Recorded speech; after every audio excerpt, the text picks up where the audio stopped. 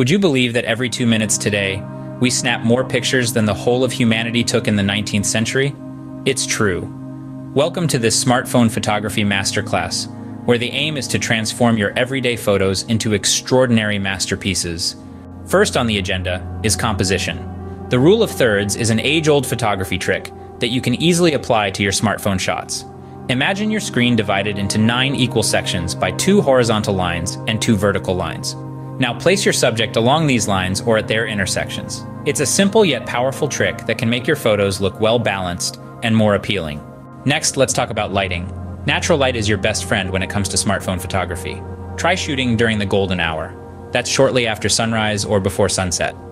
The soft, warm hues during these hours can add a magical touch to your photos, but remember, avoid shooting in direct sunlight as it can cause harsh shadows and overexposed shots. Now, onto some great insider knowledge about focus and exposure. Did you know that you can manually adjust the focus and exposure on your smartphone camera? Just tap on the subject on your screen and you'll see a slider appear. Drag it up or down to adjust the exposure. This tip can be a game changer in tricky lighting conditions. Moving on, let's delve into the world of editing apps. Apps like Snapseed, Adobe Lightroom Mobile, and VSCO offer a plethora of editing tools to enhance your smartphone photos. Whether you want to adjust the color, add some drama with filters, or even edit out unwanted elements, these apps have got you covered. Finally, don't forget the power of perspective. Changing your point of view can turn an ordinary photo into a striking one. So don't hesitate to get down low or climb up high to capture a unique perspective.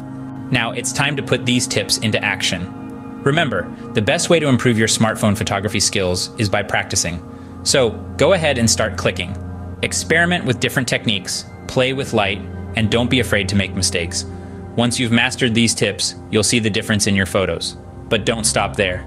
Share your stunning smartphone photos with the world, post them on your social media, send them to your friends, or even print them out and frame them. After all, a picture is worth a thousand words, and yours could tell an unforgettable story. Thanks for lending an ear to this smartphone photography masterclass. Remember, the world is full of beautiful moments waiting to be captured. So keep your smartphone handy and never miss an opportunity to click a masterpiece. Happy shooting!